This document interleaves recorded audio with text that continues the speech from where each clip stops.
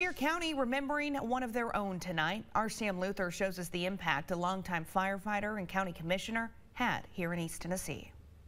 Today, March 1st, is a day of mourning in Sevier County. For the last 10 years, Chuck Godfrey served as a Sevier County Commissioner. Wednesday night, at home with his family, he had a medical emergency and suddenly died.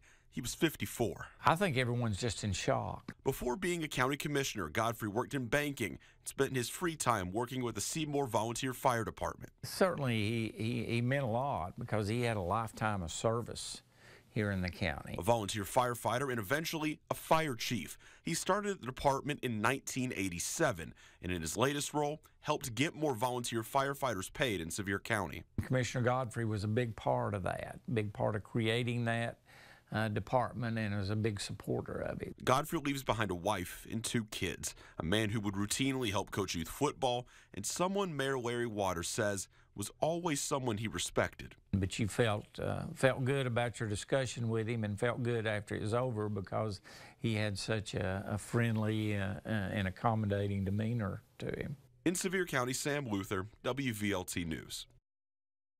His funeral will take place at the First Baptist Church in Seymour Monday night at 7 o'clock.